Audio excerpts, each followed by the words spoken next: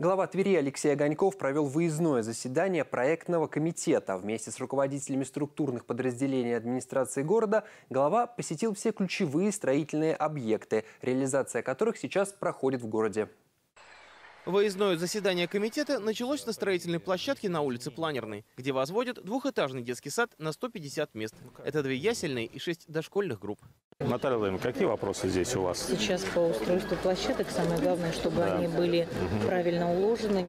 Здесь же на объекте прошла встреча с представителями подрядчика. Участники обсудили ход работ и сроки их завершения. Детский сад по подобному проекту строится в Твери впервые, но до этого был успешно опробован в нашей области.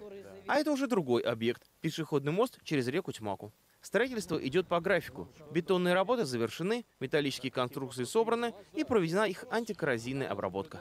Опорные части монтируем, там монтажные гнезда и анкерные соединения. Угу. Ну, ориентировочно до 30 числа мы опустимся в проектное положение. Понятно. Там будет состав вот этот вот подливочный, ну, где-то угу, он будет вставать. Угу, угу. В это время мы займемся, сейчас вот несъемную опалубку монтируем, и затем начнем армирование плиты прохожей части. Ну и до 15 числа плиту мы забетонируем.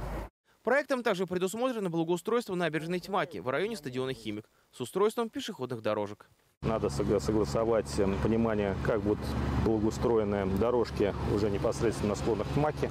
Непосредственно с объектом здесь все да. понятно, сроки Основные ясны. Основные да. работы по, в рамках моста практически выполнены на 80%. И еще один объект благоустройства, где сейчас идут активные работы, расположен в микрорайоне Южный. На этом месте будет сквер с фонтаном. Сейчас на улице Можайского закончена подсыпка основания под детские и спортивные площадки, а также тротуарную плитку. Выполнено полностью бетонирование технического помещения.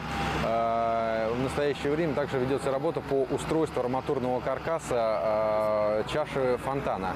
Последним пунктом выездного заседания проектного комитета стали очистные сооружения. Сейчас их реконструируют по нас проекту «Экология». Идут работы на вторичных отстойниках и насосной станции. Проект рассчитан на три года. Постоянно увеличиваются требования к качеству сброса, э, ужесточаются нормативы. И это просто обязывает нас проводить работу по реконструкции данных сооружений. Работы ведутся без остановок технологического процесса, поэтому на протяжении всего срока реконструкции очистные сооружения будут сохранять необходимую для города мощность.